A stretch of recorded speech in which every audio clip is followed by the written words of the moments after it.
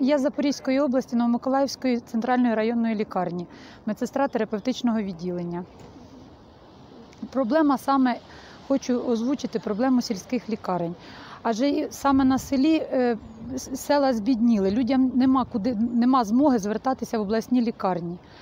Тому е, сел, немає спеціалістів, які повинні бути в лікарнях.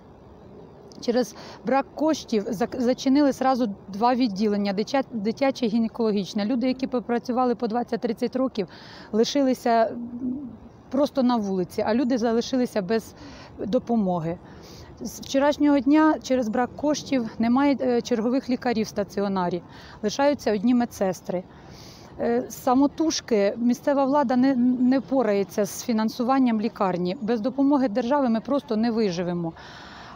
Але люди на селі також потребують медичної допомоги, а ми потребуємо роботи, тому що не всі в змозі доїхати до обласних центрів. І я думаю, це не тільки наша проблема нашої лікарні, а більшості районних лікарень, які знаходяться вже майже за межою бідності. Через е, невеликі зарплати молоді спеціалісти не хочуть їхати в районні центри, е, тому що заробітку ніякого немає. І ми вже виживаємо як можемо, так і виживаємо.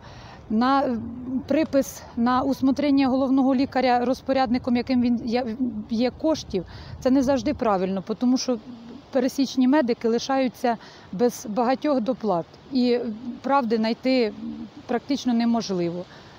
Тому ми просимо допомоги саме держави, щоб держава звернула на увагу на ці проблеми іменно е, з сільських лікарень. До обласного центру 60 кілометрів.